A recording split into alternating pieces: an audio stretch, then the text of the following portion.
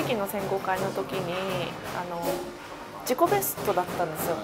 それで3番で行けなくて今まで何のためにやってきたんだろうって思ったのとなんでテレビで応援しているんだろうって思いましたし同じ日本の選手でもオリンピックに出ている仲間だから応援しなきゃって思うんですけども自分が出たかったっていうのもありますしなんかそういう悔しいっていう気持ちもあってそこで100%応援できるようならもう選手として多分もうダメなのでもう一回そこで戦いたいって思ったのがこう正直な気持ちだったので。逆境の時とかってねこう自分で言い聞かせた言葉とか何かあるんですか？たまたま聞いた歌の歌詞が諦めたら終わりじゃなくってやめた時が終わりなんだみたいなそういう歌があったんですよ。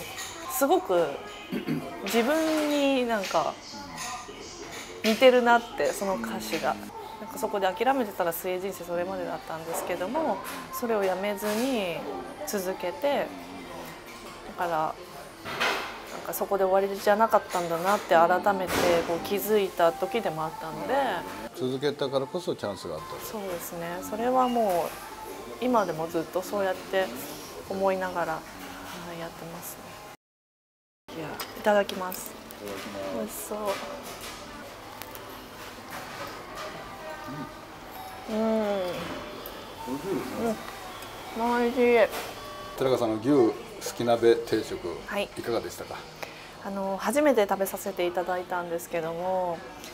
まず値段を聞いて安くてびっくりしたのと580円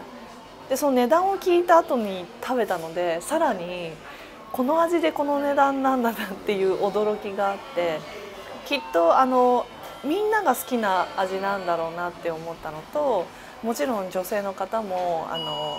好むあの商品になるんじゃないかなと思います。どうもありがとうございました。ありがとうございました。